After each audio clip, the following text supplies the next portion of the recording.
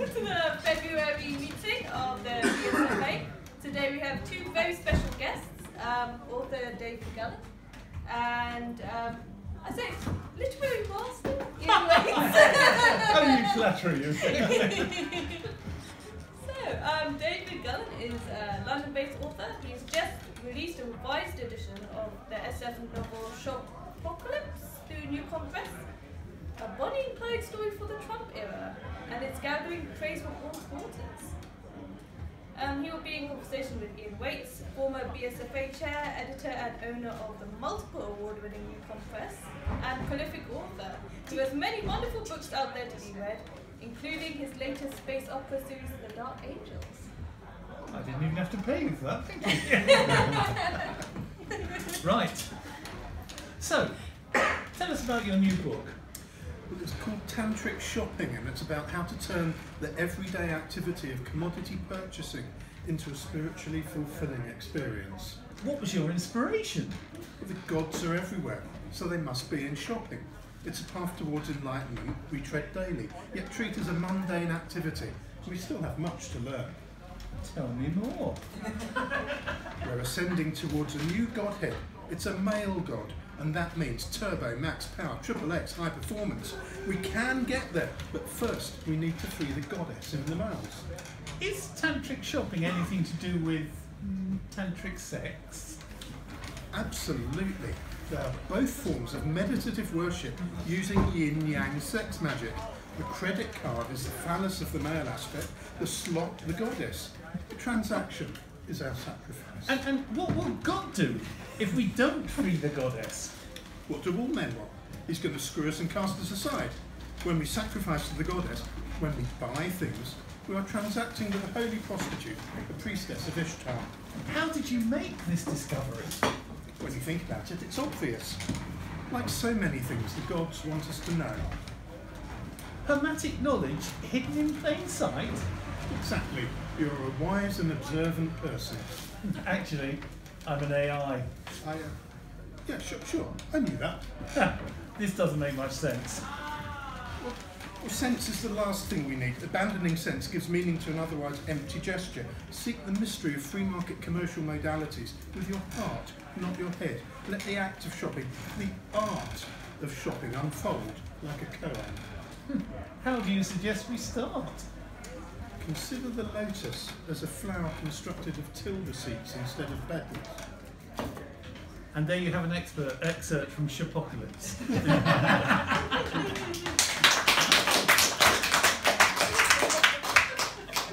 it's tantric shopping, should maybe contact Actually, yeah, good yes, good evening, everybody. Um, as Sue so, so um, aptly and, and so um, effusively um, introduced us, I'm Ian, this is Dave. Um, we're here to talk about a new novel which um, came out, is going to be coming out at EasterCon. I say new, it was actually out in an earlier form, but has been polished like a jewel. It has been exquisitely shaped into a new form. It's been revised, basically. and um, we're going to kick off with a proper reading now, rather than that brief excerpt and exchange from Dave from Shopocalypse, and then we'll get into talking a bit more about Dave, um, his writing, and particularly, this is going to come as a surprise, Shopocalypse. Dave. Okay. Um, Can you all hear us, by the way? Is perfect. Early morning. Novik and Josie hit another mark. They blitzed the levels in a controlled and methodical demonstration of no holds barred total shopping. Security guards formed an impromptu escort to keep the crowds away. Overexcited teenage boys and girls bared their chests for autographs. Cheering shoppers carried their bags until they collapsed from hyperventilation. When Novik brought out the jewellery store, the shop manager levitated. Her laid off staff carried them to the Cadillac on their shoulders through a ticker tape parade. The next day they did it again. The day after, they did it twice. Word had spread. A small crowd of people were waiting at the first mile and streamed excitedly into the ground floor concourse.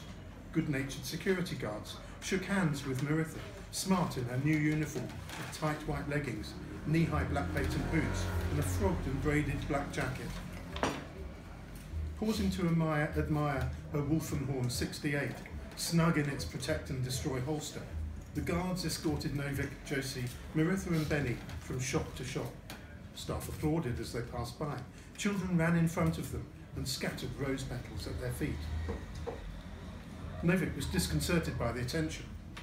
Where did all these people come from? How did they know? The mesh, the web, I, I guess we're famous now, Josie said. Novik didn't like it. He wanted to do something useful. He didn't want to be famous. And he certainly didn't like the idea that those men who once owned Mr. Carr might know where he was. Men and women leaned over the barriers, frantically waving their store cards. Which logos? Teach us shopping. Where do we go? Tell us. Novik paced back and forth like a trapped animal. Josie held up her hands. The crowd hushed, expectant. Even the security guards became attentive. Everyone, thank you for coming. We love you all. We really do.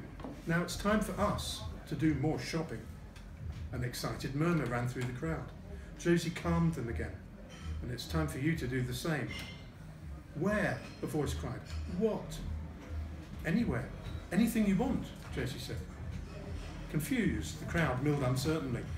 Which brands? Whose endorsements? A few people at the edges moved hesitantly towards the nearest shop. Yes, go there, Josie called encouragingly. And there. Maritha stood in front of the crowd, her hand straight to her holster. Buy what you can, while you can. It was as if her words were a signal. The crowd streamed through the mouth. Parents linked arms and strode forwards, the young children skipping happily in their wake. Young couples dodged and dived, mutual flugelmen in the dogfight of the milling press, while pensioners elbowed their way forwards with the expert economy of veterans. Novik watched the mass of shoppers pour into a dozen shops, seize whatever came to hand and crowd around the tills. One by one they emerged, faces flushed with retail serotonin. The high faded fast, eyes glazed, mouths open, they stood in the atrium, frozen like victims of early onset dementia. Then some new display caught their eye, a two for one offer, free credit, a limited edition. Jaws firm, shoulders straightened, and they hurried into another shop. This isn't what I wanted, Novik sighed. It's what we've got, babe, Josie said sympathetically. The mall manager intercepted them as they edged towards the wide exit doors. What's happening? Where are you going next? Are you done here? Yeah, we're done here, Novik said despondently. Come again tomorrow. Enjoy your commodities. Novik drove them through the outskirts of Amarillo, the blacktop heavy with commercial traffic, the deserted sidewalks dark with recent rain.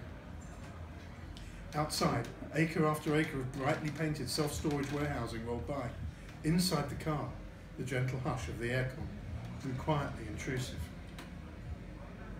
Look at all this light industrial turning to self-store, Novik said. It's the same old, same old, whatever the solar system, Benny said. It's almost a universal law, like gravity or how to make a perfect martini. Humans are like the monkey who wants the peanut in the bottle. You've got hold of what you want, but now you're trapped by your own greedy little fist. Maritha looked at Benny with new respect. We've got to learn to let go, I see that now. It's a savage indictment, but that's who we are, Novik said, a bunch of grasping apes. So who am I? Mr. Carr said.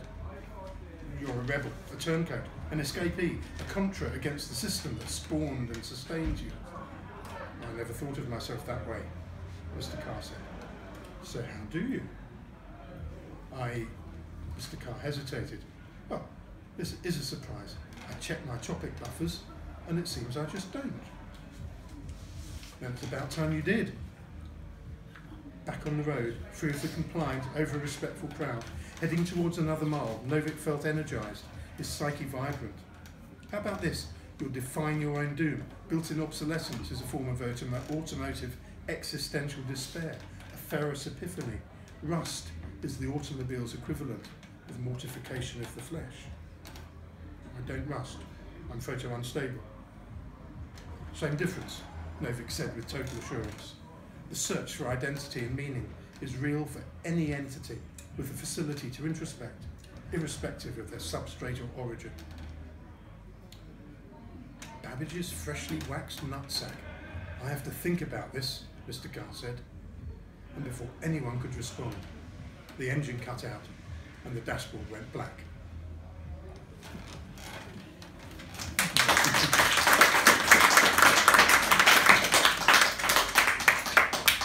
Apocalypse is a quite remarkable novel, and I want to come and, and talk about that at some length shortly. It, I first encountered it incidentally when I was a, a judge on the Arthur C. Clarke Award with um, with Georgie over there, and uh, it was it was it was different from anything else we had on the list, wasn't it? it rem- uh, so quite remarkable. We're coming on to that, but I want to explore before we get there about how you came to Shopocalypse, and and what I mean by that is, I mean, um, you you were born in Africa. Mhm. When did you come to the UK? When I was three. So it's very much a family move that brought you to the UK. Yes. And do, you, do you feel your roots are No, UK rather than Africa? Yeah, I ran away. Stay away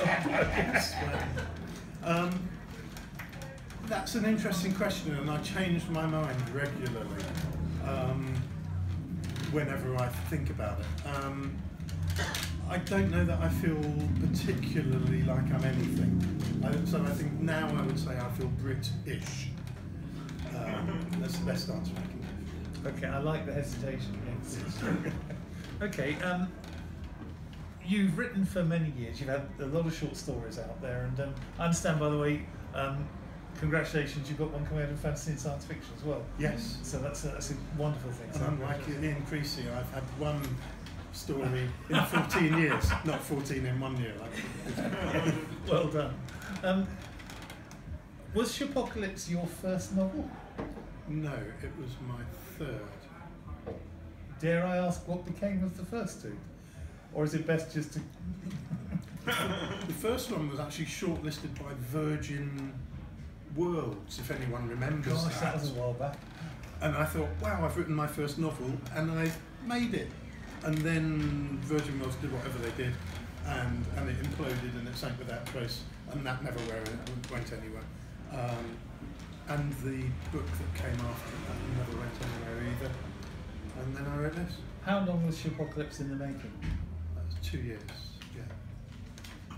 And with all the writing and everything you were doing, you were also part of a writing group in London, um, the Tea Party, Yes. which had considerable success with various members. Yes, many um, honourable alumni like uh, Tom Pollock and Aliette de Bodard and, and, and Gail. Yeah. And Rosanne, she was she's a member And Rosanne, yes, Rosanne Rabinowitz, Rabinowitz, who is still a member, I think. Yes, and several others. So it's uh, quite quite a hotbed of, of talent there. Uh, I believe so that I've not been a member for a few years. So. What benefits did you think you gained from being a member of the writers group? The Right Writers Group, which, which Tea Party was, gives you um, the right encouragement and feedback um, to do what you want. And I wanted to be published, and that was what the group was focused on. Um, and and it also gives you that vital extra thing, which is, I, I suppose, someone to share your pain with, because you know nobody makes you do this, and I do understand this, but it can become quite difficult, and sometimes you can think, why am I doing this? This is difficult, and and just to get a, a, a hug of someone, whether it's a verbal one or otherwise, is really really useful. Okay, so Shopocalypse came out originally in 2014. I think. 2014. Yes. when I read it, it struck me as being a quite insane but quite prophetic um, vision of a warped and twisted tomorrow, which could never ever come to pass. and here we are. I was thinking about this recently, and, and that's what I wanted to write. I wanted to write about this insane future that could never possibly happen. And now it feels that in some ways it's a slightly preferable alternative present. Ju- Just, uh, I, I don't know if people have actually read Shopocalypse or, or um, not, hopefully not, because you might buy a copy then. But um, I'm just going to read you to give you an idea of, of what this is about, because Dave gave you a, um, a, a reading in isolation. I'm just going to read you a little bit of the blurb, which is um, to start with, I nicked a line from the story when I did the tagline for the cover. take from the rich and shop for the poor, which I thought was a great sort of um, reworking of the um, old um, Robin Hood sort of thing. You did, it's somewhere in the text. I think I've changed the word. You wrote it, yes. Um, no, no, that was all my own invention. but um, the back blurb, it it says a lot about the books. I'm, I'm not going to read all of it, just a little bit. A Bonnie and Clyde for the Trump era, Josie and Novik embark on the ultimate road trip. In a near future resculpted politically and geographically by climate change, they blaze a trail across the shopping malls of America in a printed intelligent car stolen by accident with 190 million LSD contaminated dollars in the trunk. And that is the central thread. But it's only one thread. And another bit, meanwhile, Professor Genevieve Sarlo is bent on making America great again and cementing her place in history. She embarks on an ambitious but perilous campaign, invading Mexico on a pretext and plotting to assassinate the richest man in the world, or the world has ever known, basically to fund her, her exploits. Um, you, you had a number of things going on. There were a lot of viewpoint characters, and you wrote it in a quite episodic um, manner that almost reminded me at times because you interspersed it with, with sort of like video blogs and with other things, and it, it put me in mind a little bit of Brunner's um, stand on Zanzibar. Mhm. Was that a conscious thing, or was that something that you just found worked for what you were doing? I haven't really thought of it in terms of stand on Zanzibar, but you're absolutely right. The the episodic, um, or rather the the um, the little sort of news inserts at the beginning of each chapter and things, really came from my memory of an old Frank Herbert book called The Desalde Oh Experiment yeah, yeah, yeah. which had all these little interesting um, sort of snippets Yeah, and yeah. vignettes at the beginning of each chapter, and they explained how the world worked. Um, and I liked that. Um, and I knew it wasn't particularly original idea, but I just thought this is a way of, of world building, expanding the background. And then I had the idea was I could take a character out of the narrative thread and I could put it into the news, and then I could bring them back out of it. Um, so if I've done anything approaching original with that idea, that's what I did. And when I thought of that, I thought, really that, I'm going to do it. I want to talk for a moment about the richest people the world has ever known. Um, you have this wonderful family. Um, you could have made the ultra rich multi trillionaire a right bastard, but he actually comes across as quite a nice individual.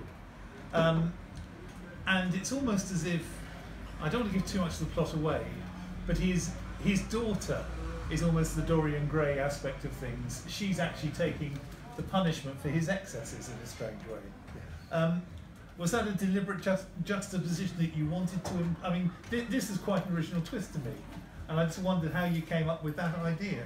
I say I don't want to give too much away, but it's it's something that you do.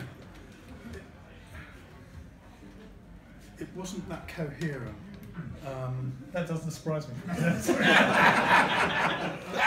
this is incredibly coherent. Um, once I thought about the richest man in the world, I, I, I thought, what it would be like to be a trillionaire? And then you do the sums and you think that's ridiculous. How could anyone be a, a multi-trillionaire? And then you realise actually they'd own the planet if they did, which is what he does. Um, but his daughter, um, his daughter is, is enormous. Physically, she's gigantic.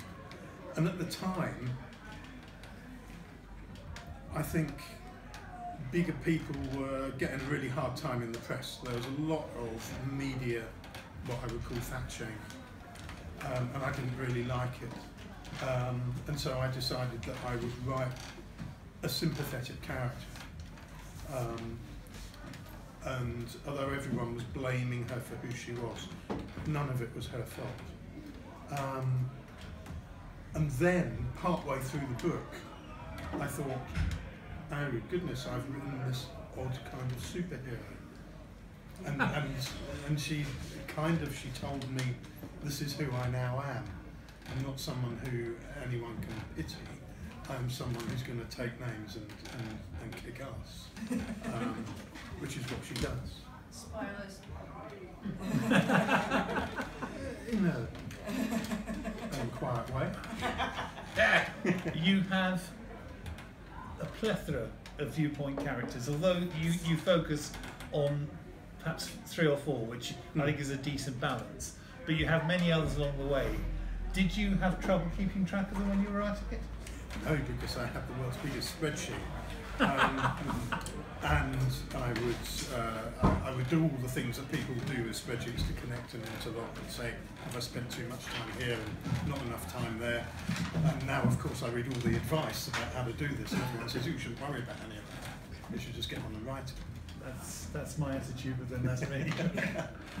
when because your original publisher, who was um, did a great job, produced a lovely volume. Um, unfortunately, no went out of business. Yes. Um, you then had an opportunity to go back and revise it, which isn't something every author does. I mean, I, I don't know, um, as an author myself, I can tell you that I look at books now that came out 12 years ago and I think, God, I should have given that another pass. I should have done this. I should have really have worked on this a bit more. Yes. And you had the opportunity to do that. Yes. What was that like? It was great because for one thing you can fix all those typos um, and secretly introduce a few more. Um, but also Troublemaker, that one. I'll keep, I've got my eye on you, lady. because it was an there's, al- there's always, I was about to say there's always one, but actually there's always two. This, this whole table. yeah, actually, yeah, good point. because it was um, very close near future, was also a great opportunity to go back and look at everything I've uh, sort of proposed and said, does that still make sense, or actually was that done like two years ago now? Um, fortunately, that wasn't really the case. Um, but I think the real opportunity was just to go and cut some fat. Um, I think it's about 5,000 words shorter now. Yeah, it is. And I think it's a much better book because of that. Good because I, I must confess, I mean, it, it was it was an interesting project to work on. it, it was an interesting project to work on because um, Yeah. yeah, YA. It was an interesting project because at one point I, I did feel that there were elements that could be cut out, but at the same time, you don't want to spoil the whole sprawling beauty of this behemoth, this wonderful creation you've created, which goes off in all directions and somehow it's all travelling in the same direction and it all ends up at the right place. So you don't interfere with any of that and the freedom, but at the same time, there was just little bits and pieces that could be trimmed out. Yes, that's right. It's a paragraph here and a Yeah. sentence there, and I think possibly a chapter as well. Here and. Uh, and I think we got rid of the character as well along the way, didn't we? But, yeah, yeah. Anyway, but okay. But, but the, sorry, the, I mean the sprawling part of it, it, it's a global story. I wanted to write it from a few points around the world um, to uh, to reflect that, because it's not just happening in Well, America. You, you took one of the characters and put her on a Polynesian island and, Yes. and, and had bits and pieces happen to her. And again, I, I, no spoilers, but she goes through a complete uh, growing process and adventures of her own, Yes. um, which could be considered by many editors. I must have I looked and thought, do we need this character? Do, can we do with that? But I could see that you were going for a wider feel and a wider sense, so I didn't advise cutting it. Whereas I know that my own agent, who isn't here, Simon Kavanagh, he would have said, "Cut that character, not vital to the plot." Not, but, you know, I thought, no, it's it's the feel of the novel. We need this extra extra dimension that the character brings. Um, And it also let me sneak in a little bit of magic as well. yes, which well, reference to magic. Yes. Yeah. I I will say Science, that science magic, Arthur C. Clarke, I rest my case. I, I find it fascinating because you've written, um, in effect, this is near future because it, it's what the world is going to be like once climate change kicks in, um, once various other things happen. It's a very dangerous game. To, I remember, um, I remember Charlie Stross saying once that, um, you know, we can all write in the near future, and um, that's great, and we can all predict things. I mean, look at the fact we predicted the mobile phone. But nobody predicted happy slapping, which at the time was very happy. You know, so reality is always going to come up with something weirder and stranger than we do as writers. Yes. Current American administration being a case in point. Um, Yes. yet this holds up remarkably well, given that for what um, five years now have passed since it was originally published, and yet if anything, it's more relevant now than when it first came out. it's very kind of you to say that, and I'm quite pleased that it has. I mean, when I wrote it, I think Sarah Palin was the maddest thing in American politics. For those uh, days. over, over those happy days. And so I, I, I based my mad president on kind of on her. I can only apologise that she has a form of, of self uh, self belief and integrity, um, despite being a monster. Um, because clearly that is not reality anymore. Okay. Um, Shopocalypse is a wonderful novel. I would thoroughly recommend, recommend it to anyone. But as you say, you finished writing the original version five years ago.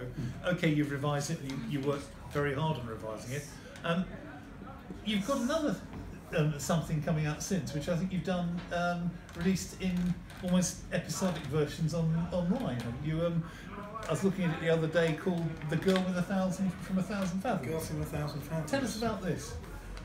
This is a, um, a fantasy, modern detective fantasy novel I read. Um, why did I write it? Someone said, help me out, Gay. Someone said, It was an old um, forum that we used to be on as members of Tea Party Writers, and there was this weird discussion, um, and at one point, I believe the phrase "women in wet red dresses." there was there was, was there was a web, the there was a website. You could pick two characters Oh, and together they fight crime. And I got he's he's a burned out um, detective and she's a mermaid. Together they fight crime. So so I thought that's crazy. I can write a short story about that. I can write a novel about that. Um, and I did. Uh, And then, what the hell do I do with it? and then what do I do with it? And some people sort of quite liked it a bit, and I put it away. I parked it for several years. I looked at it and I thought, yeah, I know what's wrong with this. Um, and this is the first time I've actually sat down and thrown a book away and then rewritten it from scratch. Wow, Um, really? Yeah. Um, You kept none of the original at all? well, I, I, I kept the, the story, the premise. characters, the plot, Yeah. the words uh, are, are all rewritten, um, and that was interesting, and that was that was what the book needed. And then I thought, well, I'll try self-publishing. I'll give it away chapter at a time on the interwebs and see what happens, um, and then maybe I'll do a, uh, a print edition, and maybe because I also do some leather work and I do a bit of bookbinding, so maybe I could actually make my own limited edition books, which would take like three days to make one. Um, And and, and maybe not, and maybe not do very many of those. Um, but I thought that would make a good high-end Kickstarter reward or something like that. Um, so I may still do that, but I'm really, really busy at the moment, and that's that's still coming out, and I still will do the give it away on the internet. Have you written this entirely now, and you're Oh, yes. releasing it episodically, or Yes, are you writing done. it as it goes? Yes, because I, I garner the days where I'll just write something and throw it out there. This has been, yes, this has been written, edited, proofed, test read, uh, and, and it's a proper book. Water seems to be a bit of a theme with you, because you also had a short story collection out, which was themed on wet things, with a fabulous cover by, um, but it looked as anyway to me like a Dan- Dani Serra cover. Yes, yes, it is really, really nice cover. Um, yes, water is a theme that runs through my whole life, and I can't really explain it, but I do have a fascination for, for it. So if you end up drowning, well, there's a thing going. To, I just thought you know we bring a light tone. To Well, I think the reason for this is when I came back from South Africa with my parents, aged three years and not much, when we crossed the equator, I was baptized by King Neptune in the ceremony that they did on, on ships at that time. And I have my certificate, um, which I still have, and it's on the wall. And, and Neptune and the des- denizens of the deep have, have sworn that if I ever fall in the water, they will protect and defend me, and I shall not drown. And when I was five and six, gosh, that meant a hell of a lot to me because it was true. Uh, and because I believed it for so many years as a child, it's sort of part of who I am. that's fair enough. Yeah. Okay. Um. Said it was weird. Yeah, that's fine. So, you mentioned at some point that there you might do a sort of sequel to I, which I find quite impossible to picture. But um, tell us more. I thought, oh, I've written a few thousand words of this in this sort of great burst of excitement as I was actually on the tube going somewhere and I had this idea and I just wrote it by, by hand and then wrote the rest of it as I was coming back and then typed it up afterwards and realised in, in like two hours I've written about 6,000 words, which is not what I do. No. In, in, in a month, I might write 6,000 words normally. Um, so I thought, Mr. Carr. Everybody likes Mr. Carr, which is a mystery to me. Um, but by the end of Shopocalypse, things have happened. So I wanted to write the next book from the point of view of that character. Of the car. Yeah. Yes. Georgie, Georgie likes this. Georgie approves. Chicks Love love the Mr. car. And it's difficult to do this with, without spoilers, but at the end of the book, certain things have, incredibly important things have happened. Um, and at the beginning of the second book, all of that optimistic stuff has just turned to shit. So it's like on a sort of um, scale, joining the EU and then being kicked out of it because we're assholes. Um, that sort of thing. So it's, it's a nice. It's up- great. It'd be great. It's a nice uplifting novel for the um, new era. well, so no, the, yeah, of course we've got to go and um, get some redemption and things. And the, and the other thing we haven't really talked about is the parahumans, the um, intelligent animal-human hybrids. Not Yes. really. I never Now- really was sure what they were. But there, there are two elements I want to come on to going back to Apocalypse. One is you've got I'm gibbering now a bit. I'm sorry. no, no. There, there, there, it does make sense if you've read the book. Trust me, sense in a very you know inverted commas sort of way. Um, you've got Mr. Carr, Hmm. which for some reason becomes a very endearing character, and I for one was quite disappointed when Mr. Carr disappeared out the story. Was glad when he came back later. Sorry, give them spoilers. Spoiler. Right. I know, but um, where did you get the idea of this printed intelligent car, which is almost like the? It's probably over-egging it to say that it reminded me of um, of, of the computer on Red Dwarf, but it's it's got this sort of. No, no, no, no, an independent Knight Rider. Like it's kit Okay, without it's hassle. it's it's kit with a bit of um. Where, where where did this whole concept come from? I don't know. It's not an acceptable answer. There's a little old lady in Schenectady, and she ships me ideas wholesale. Um, I'm not sure. A lot of a lot of ideas sort of emerged in the planning for the, for this book, and, and how I like to work when I do do it properly is that I will spend a month or two just brainstorming ideas, just trying to get stuff out there, and it doesn't have to make coherent sense in any order. I, I'm, I'm literally tearing up bits of paper this big and writing ideas down and putting them aside, as many as I can. And I, I just do that until I've got this stack of bits of paper. God, Gaie must be a saint then, with someone's throwing. Yes, God forbid that the cat comes through and it's all laid out on the floor. Because then you get a completely new plot. Ah, Where did Mr. Carr come from? I am not sure. Um, it's been a while. I, and, and you're getting on a bit, and memory isn't what it was. yeah.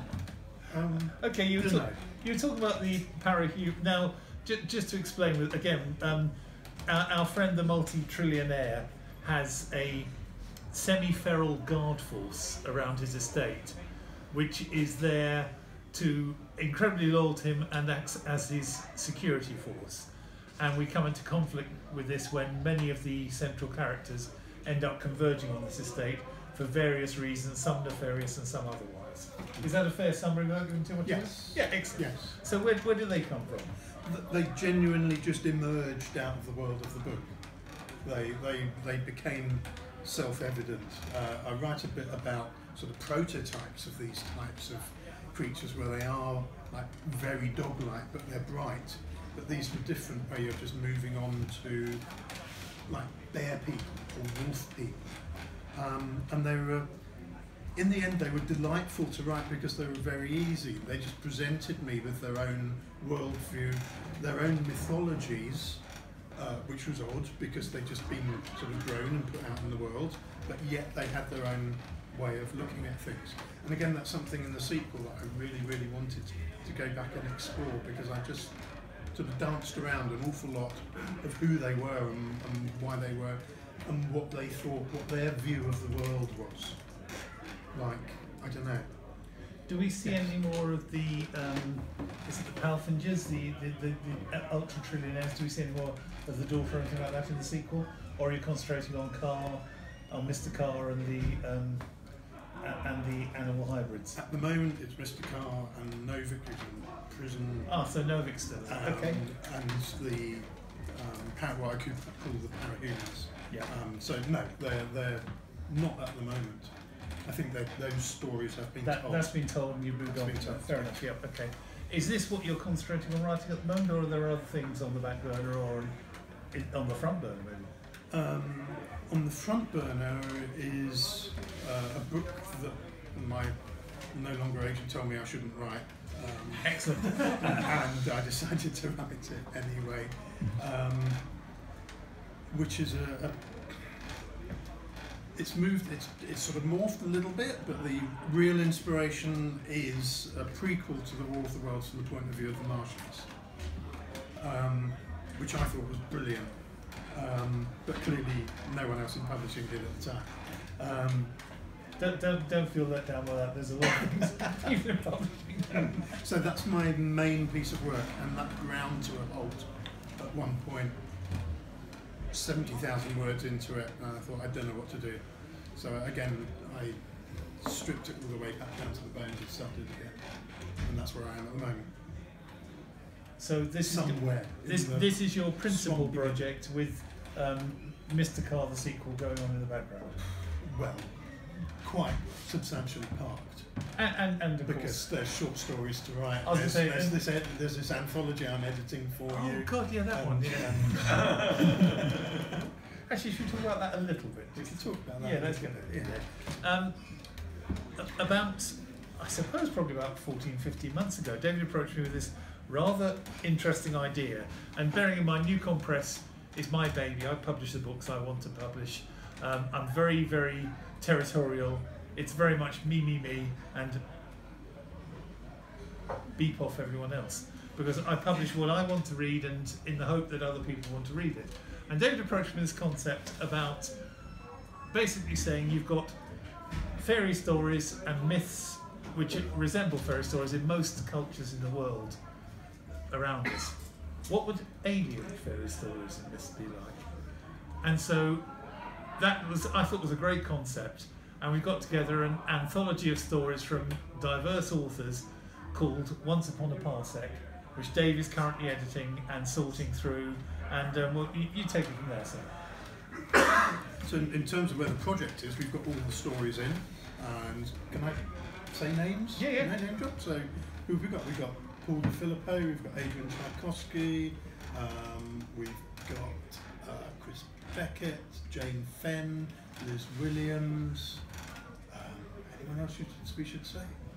Oh, You? Gaie, Gaie Sebold. You okay? um, and and yes, that man over there, um, Whose name you can't Stephen remember. Oram. Yeah. um, and Bryony Pierce and Bryony Pierce, um, and others. and others. and it was a real and Neil Williamson, um, and it was a difficult brief. Having having come up with this idea and persuaded Ian, I think for the first time ever, to let someone else have a go. Um, for which I'm supremely grateful. That's That okay. You can buy me drinks later. It's very. no, I, I'm, I'm flattered and, and I, th- I think it's a great slightly worried. Um. It's having come up with this idea and then sent out all these uh, um, requests for submission things, and people scratched their chins and said, "You know what, Dave? this is a really, really difficult brief. And I thought about it and said, you know what? It's a really, really difficult brief. I'm really glad I'm editing this and not having to write a story because I'm not sure where I would start. But the thing is, um, and that really is the main reason why I think it's been quite slow to actually bring it to completion. But the thing is, because it's been such an ask for so many writers, I wonder what you're going to say then. they've, they've, they've all university really, really come up with the goods. Oh, Kim. Um, Kim's done stories. Kim yes. Smith. Kim. Smith. Um, and I'm, I'm super excited about it. I think it's going to be really good. And the cover art is being done by Ben Baldwin, who did Shopocalypse and many other NewCon books. Yes. Um, so I'm looking forward to seeing. Uh, again, based on an idea that um, Dave came up with, which is of a spaceman sitting with his visor up, reading from a book to a group of alien children, and that's going to be the cover art. So looking forward to that. Did you say spaceman or space person? Space Puss. Space person. I apologise. Let's get, get back to Ben. Yeah, yeah, yeah. Ben, make it a woman. Otherwise, George is going to kill me. Yeah, sit down. Yeah, keep it anonymous. Yeah. Uh, Th- this will. We'll probably have it out for the summer, will we? Well, won't we? Yes, yes. so that's ongoing, um, which, yeah, I, I've been delighted by this because it, um, Dave's kept me fully informed. I haven't yet read any of the stories, um, barring, I th- I th- that's a lie, I think I've read one of the stories so far. But um, I just love the concept and uh, I had great fun writing for it. Um, the story I originally wrote for it weirdly missed out the most interesting aspect of the story because I thought that's relevant to the actual alien world, not to the fairy story. Um, but then I put it in, and you, you rather like that idea. So, Yes. um, so yeah, that's coming out. Um, so you've been editing, and, and you've edited before. You you um, you published me in an anthology for um, called Mind Seed, Yes. and and that was actually for a noble cause as well, wasn't it? Yes, that was for a, a writer in the T Party who uh, passed away, and we wanted, as a group, to do a um, uh, to commemorate her, publish a piece of her work because she had never been published, um, and see if we could raise some money for her favourite charity. Um, so we did. That was my first dip into the water of, of that. My second one is a very strange thing that me and some friends came up with when we were on holiday and we had been drinking Dutch whiskey, which I recommend you never do because it's hallucinatory, weird stuff. It's not actually whiskey. I, I, I, I never say, knew what it is. I, I think if you look up in the, in the dictionary, um, Dutch and whiskey are not two words you often find Nevertheless, together. somebody brought a bottle and uh, we went to a very strange place and, and. and we published a book of, of, of, of wet plate collodion photography, short stories, haiku, um, called The Redemptive Epiphanies of Pouty McNavel. Don't ask me where that title came from because none of us can remember. Um, and all the stories, apart from two, are called that. Um, if you want a copy, email me and I'll send you one. Um, free of charge. because who know this is like that. That was great fun. I really enjoyed it, um, and learnt a lot about laying out. Yeah. With, with trying to get bloody photographs into books. Never do that. Thank you for the advice. I'll, I'll make sure I don't. Um, Shopocalypse is your only professionally published novel to date. Yes. Is that something?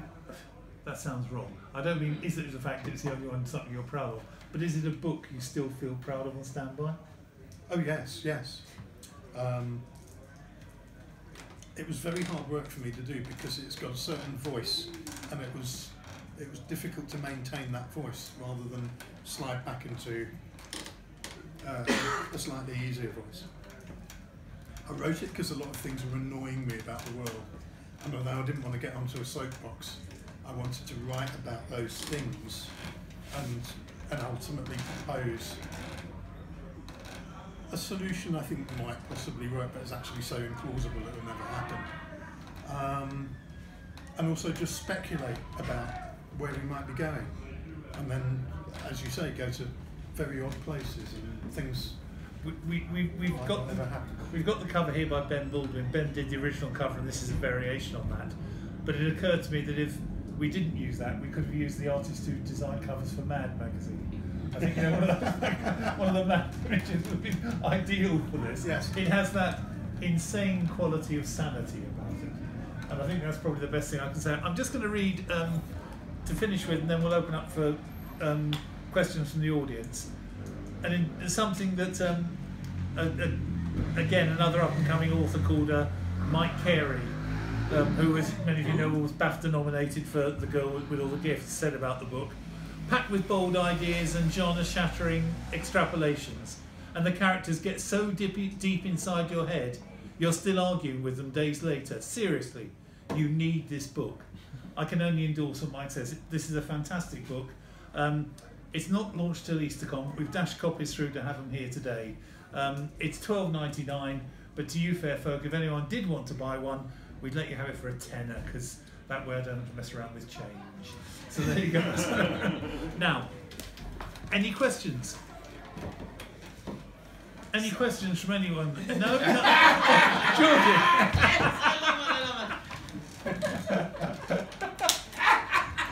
Georgie. So, um, Mr. Carr, Yes.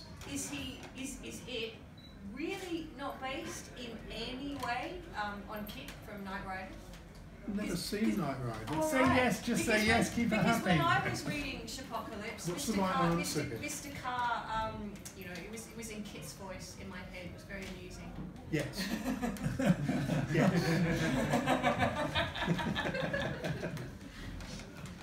um, It's actually quite No. watchable. I rewatched some Knight Rider recently because I was showing it on some obscure preview channel, and I was pleasantly surprised. You know that feeling you get when you're going to go back and watch shows from the 80s? Are they really good? Are they not? I'd forgotten that the lead mechanic was a woman, and they have um they have a character of color in the series later on. So tick tick, good job. For that, for that day and age, that's quite progressive, isn't? Yeah, I was happy. I've noticed this thing in my life where whenever I say I will never do something, I then do it. Yeah, Or whenever I think something's stupid, then guess what? So when I was quite young, um, Knight Rider was on TV. I thought, why would I want to watch a stupid program about a talking car? that's stupid? So you know, guess what? Um, The car was actually not stupid. That was the whole point. absolutely. The car was the most intelligent character in the book in the, the program. Yeah. Okay. Anybody else? Roger. You wrote the book, five years later you revised it. Yes. Five years' time? is, is, that, is that something you would dread or welcome?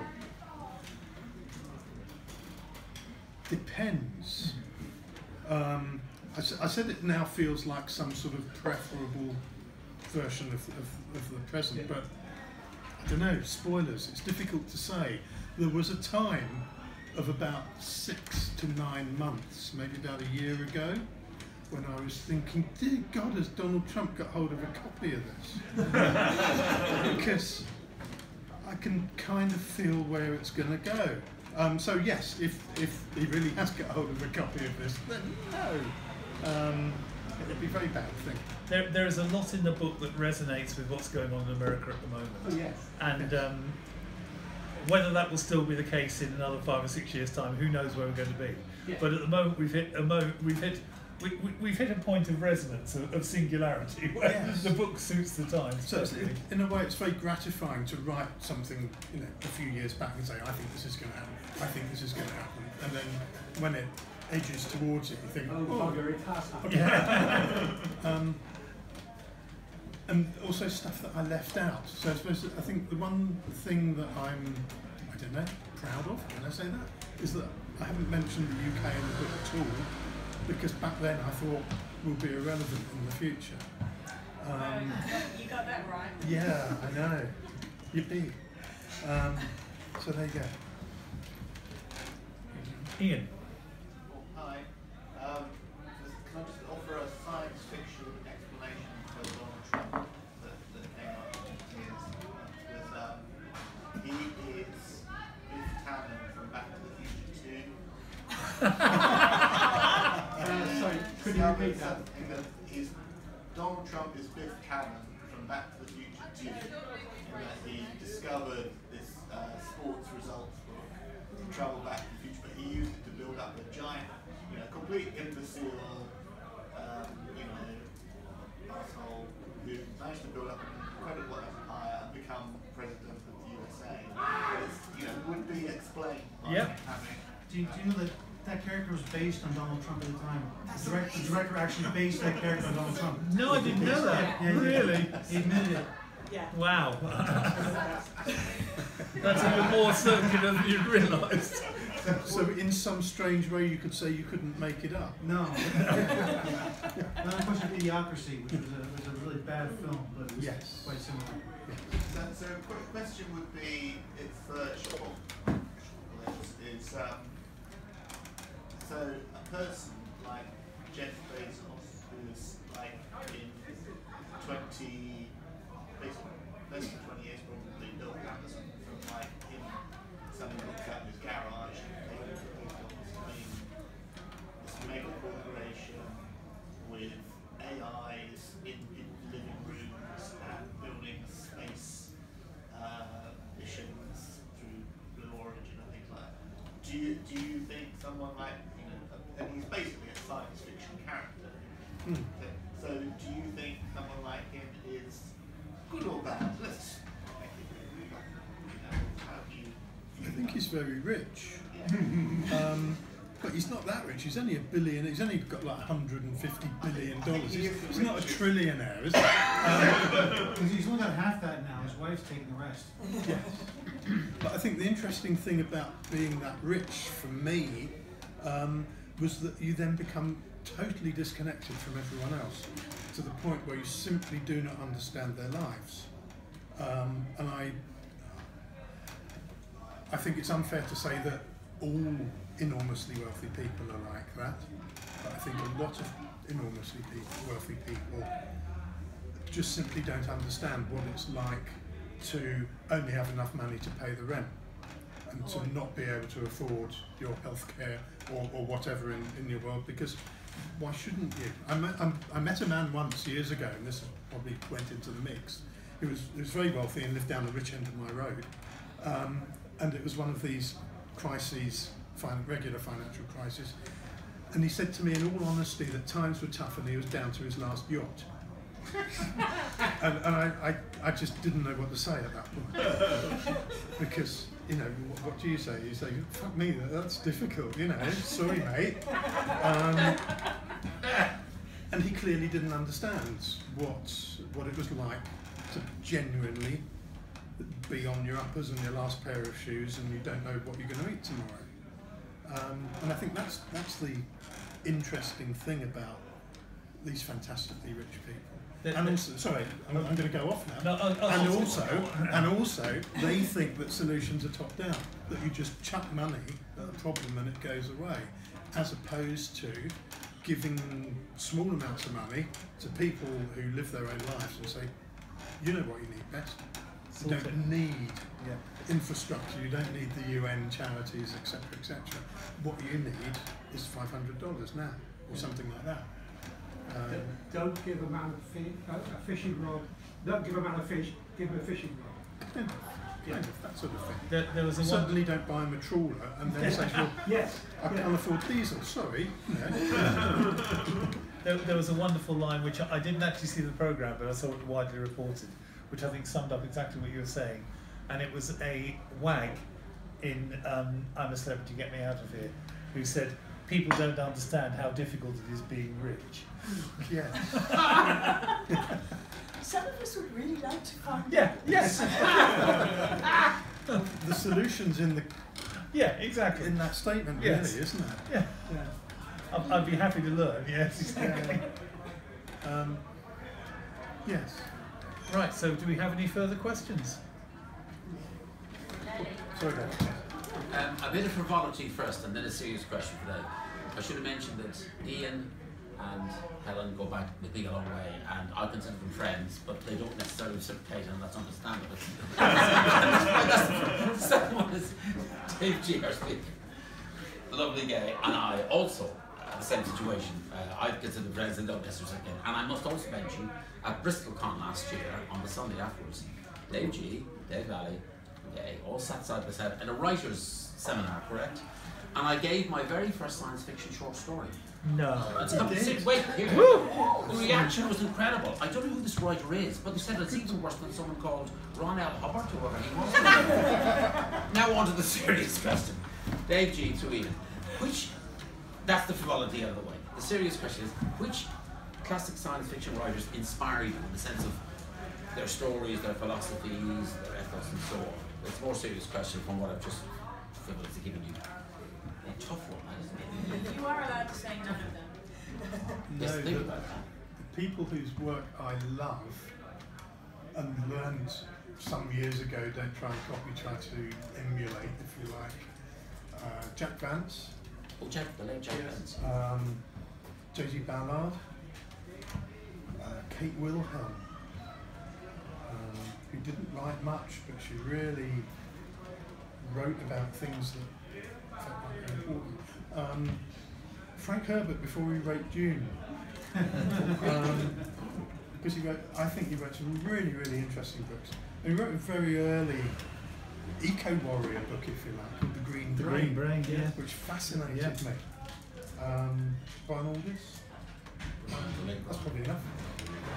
From, from my perspective, I'll say I, I've never tried to emulate any author, but I suspect every author I ever read has bled into me and helped shape me. And Mm. so I think it's been a process of osmosis rather than deliberate influence. I mean, I, I gobbled up everything that Roger Zelazny wrote.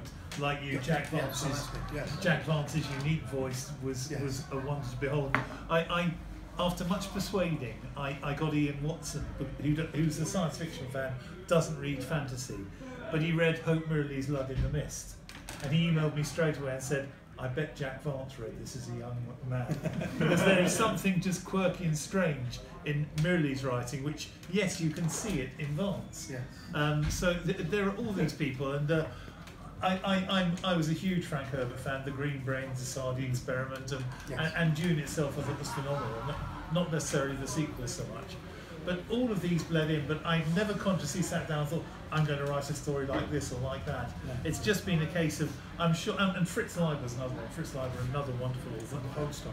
Yep, Hol- and Rob Holdstock, yes. Oh, what a man.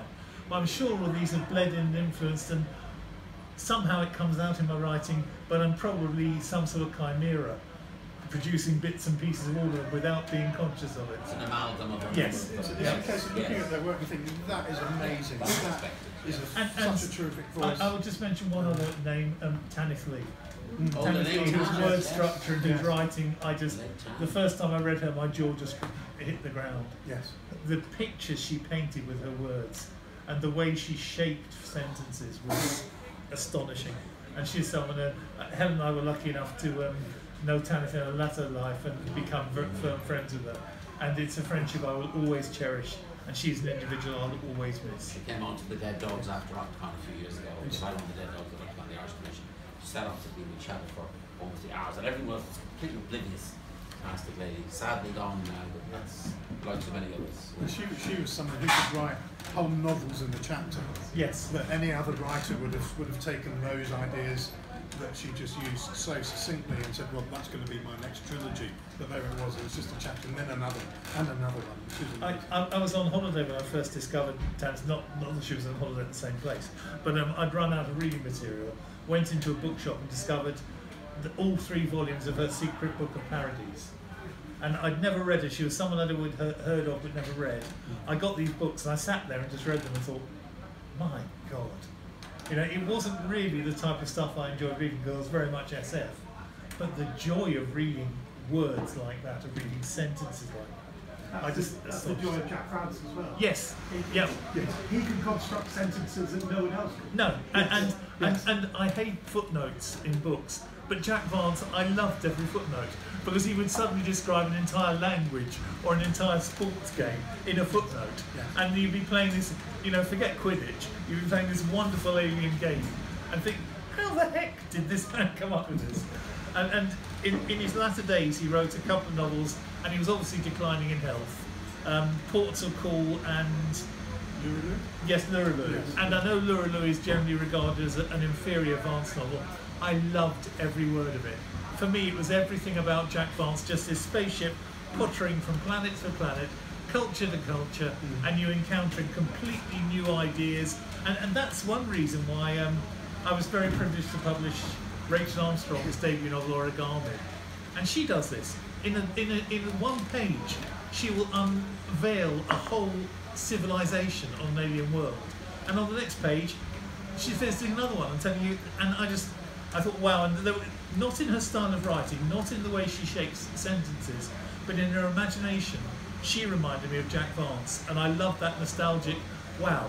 The last person I read who did this was Vance. Mm. And, and so, yes, I'm sorry, I'm going to shut up now because it's your interview. sorry. Thank you both for that. Just to comment on Jack Vance at the Belgian convention last Belgium, there was a lot of stuff about Jack Vance translated into Dutch and was went through. But wasn't it that he was blind in the last 10 or 15 years of his life? He lived a very long Yes, time. yes. He was 97 or Very, very poor eyesight. fact, Yeah. he went uh, blind or something in his last read, few read years. some of his greatest Yeah. books. Well, Yeah. He had he had um, laser treatments on his eyes to try and correct declining vision, and it blinded. It went horribly wrong. blind. Yes. Yeah. Yeah. One of the classics. So he wrote it, as I understand it, he wrote his books one word at a time in 72 point on the screen. If there are any other classic authors you'd like to discuss, Before we finish, um, I hope you've enjoyed yourself. I feel flattered and privileged that you've asked me here. Uh, I really, really do. So thank you very, very much. Really.